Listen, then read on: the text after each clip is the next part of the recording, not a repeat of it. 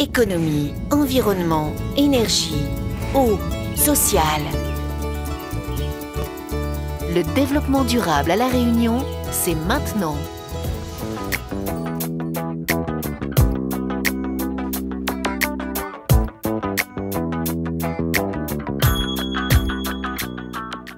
Je suis Valentine, je participe à l'activité environnement qui a lieu tous les lundis midi au collège.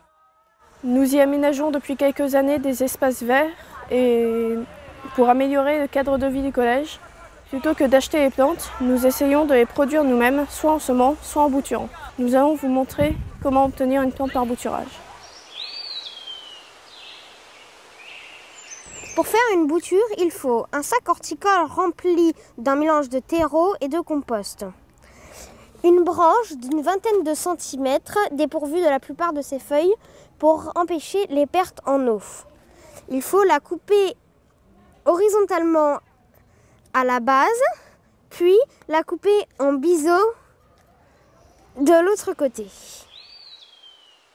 Il suffit de la planter dans, le sol en y mettant deux ou trois nœuds. Il ne reste plus qu'à arroser. Et voilà ce que ça donne une fois que la bouture a pris. Après 3-6 mois, la bouture peut être plantée. L'intérêt des sacs horticoles est que la plante est mise en terre avec la motte. Ainsi, les racines ne sont pas cassées et la plante ne subit aucun dommage. Il suffit alors d'arroser abondamment. Ensuite, il faut savoir être patient et attendre que la plante grandisse et donne ses premières fleurs.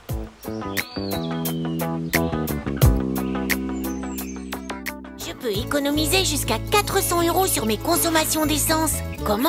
Pour les courtes distances, je privilégie la marche ou le vélo. Si j'ai plusieurs kilomètres à parcourir, j'utilise au maximum le covoiturage ou les transports en commun. Si je suis contraint d'utiliser ma voiture, J'adopte une conduite souple et je roule à allure modérée. Je réserve l'usage de la climatisation au long trajet. J'entretiens mon véhicule régulièrement. Je coupe le moteur de mon véhicule quand je suis à l'arrêt pendant plus d'une minute. Alors vous voyez, préserver l'environnement, c'est augmenter votre pouvoir d'achat. Le Conseil général agit pour le développement durable. Et vous?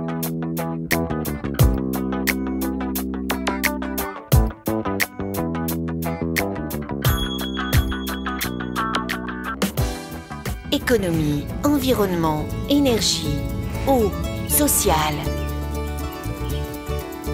Le développement durable à La Réunion, c'est maintenant.